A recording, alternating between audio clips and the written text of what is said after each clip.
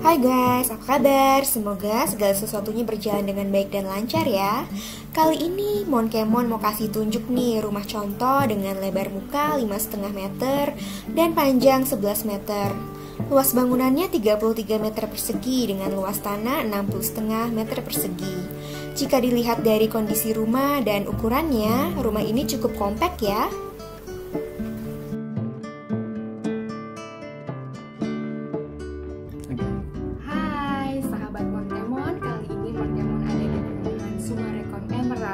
letaknya di Karawang Timur. Perumahan mewah ini menawarkan beberapa produk terbarunya. Untuk tahu lebih lanjut, kita ikutin terus ya. Untuk kalian yang belum tahu Sumarekon Emerald Karawang, kalian bisa langsung googling dan langsung cek ke websitenya. Di website Sumarekon Emerald Karawang ini, kalian bisa lihat dengan lebih jelas apa saja produk yang mereka tawarkan dan juga tipe-tipe rumahnya. Selain residensial, mereka juga menawarkan apartemen, mall, dan juga ruko. Untuk pengembangan ke depannya masih akan lebih jauh lagi ya. Bagi kalian yang belum tahu tepatnya letak di mana Sumarekon Emerald Karawang, kalian bisa langsung ke Google Maps untuk cek di mana letak Sumarekon Emerald Karawang. Nah, untuk rating Sumarekon Emerald Karawang ini mempunyai rating 4,3 yang terbilang cukup bagus. Jadi Sumarekon Emerald Karawang ini terletak di Jalan Lingkar Tanjung Pura. Dari arah pertigaan lampu merah Lotte Mart Karawang, kalian bisa ke arah utara, ke arah Jalan Lingkar Tanjung Pura. Nah, di sebelah kanan ada Sumarekon Emerald Karawang. Kalau dari gerbang tol Karawang Timur, kalian bisa ambil exit ke kiri ke arah Klari. Nah, jarak dari gerbang tol Karawang Timur menuju ke Sumarekon Emerald Karawang kira-kira 6 kilo dan waktu tempuhnya untuk normalnya adalah setengah jam.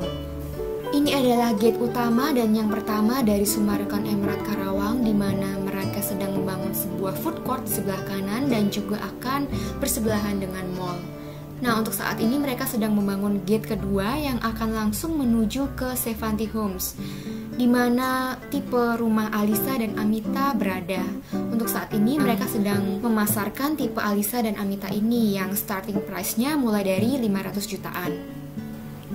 Sebelum kita melihat secara keseluruhan rumah contoh tipe Alisa yang berukuran 5,5 kali 11 meter, kita akan melihat dulu klaster Kalista Homes yang merupakan klaster ketiga dari Sumarekon Emerald Karawang. Klaster Kalista Homes ini diluncurkan pada Desember 2017. Seperti ini penampakan secara sekilasnya ya. Sebelum Kalista Homes, Sumarekon Emerald Karawang telah merilis klaster Advani Homes sebagai klaster pertamanya dan juga klaster New Elora Homes sebagai klaster kedua. Ini adalah rumah contoh tipe Alisa dengan luas bangunan 33 meter persegi dan luas tanah 60,5 meter persegi. Lebar mukanya 5,5 meter dengan panjang 11 meter. Untuk carport ukurannya 2,6 dikali 4 dan untuk tamannya kira-kira ukuran 2,8 dikali 5 meter termasuk terasnya. Untuk silingnya berukuran kurang lebih 3,8 meter, cukup tinggi ya.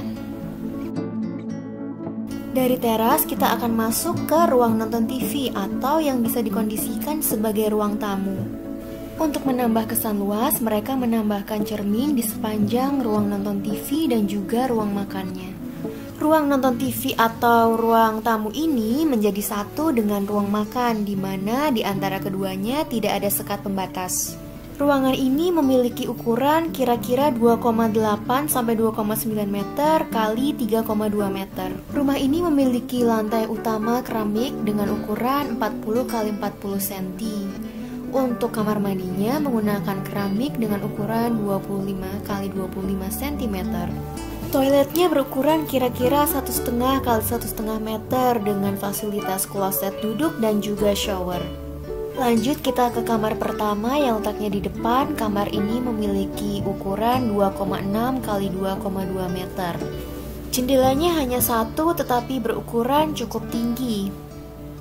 Kamar ini bisa diperuntukkan sebagai kamar anak, ukuran bednya ukuran sedang, yang bisa dipadukan dengan meja belajar langsung berhadapan dengan tempat tidurnya.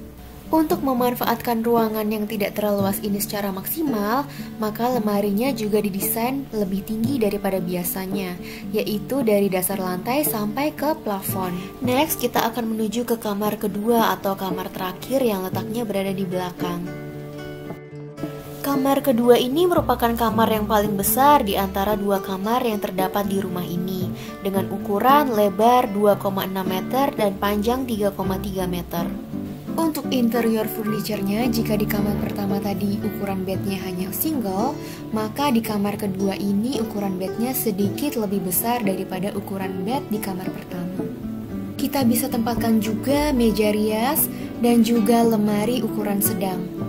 Meja rias ini juga bisa diganti sebagai meja kerja. Jika kalian tertarik dan ingin tahu lebih lanjut mengenai rumah ini, kalian bisa langsung mendatangi Marketing Galeri Sumarekon Emerald Karawang. Per awal Maret 2020, rumah ini dijual dengan harga KPR 500 jutaan.